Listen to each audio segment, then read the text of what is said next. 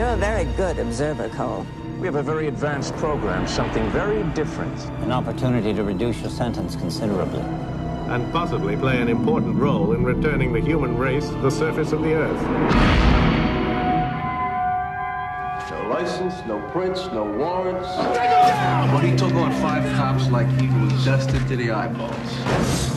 What year is this? What year do you think it is? 1996. That's the future, James. Do you think you're living in the future? I am simply trying to gather information to help the people in the present trace the path of the virus. We're not in the present now.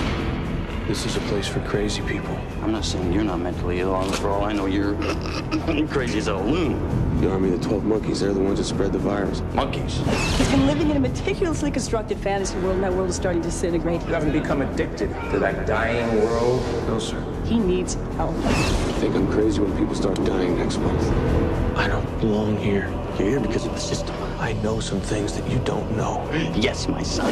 He sent me to the wrong year. You're certain of that? Science ain't an exact science. You had a bullet from World War One in your leg, James. How did it get there? I don't know. You're a trained psychiatrist. You know the difference between what's real and what's not. You said that I had delusions. You said you could explain. I'm trying to. I want the future to be unknown. Please! I can help you.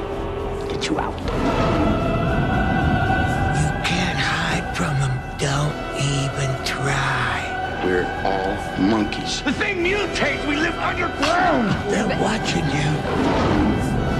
I just want to do my part to get us back on top in charge of the planet.